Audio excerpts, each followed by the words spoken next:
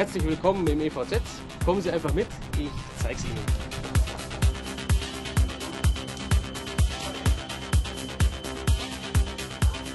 Mach aber nicht. Mach nicht.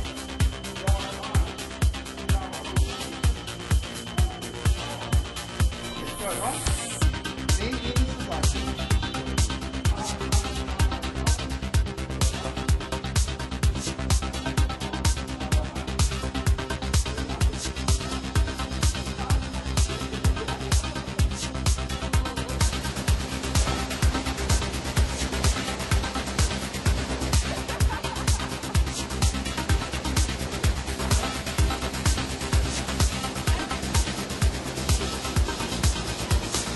Sobald es halt rutschig ist und kalt ist und eisig, da fühlt man sich gleich wie eine ehemalige Eisverkäuferin.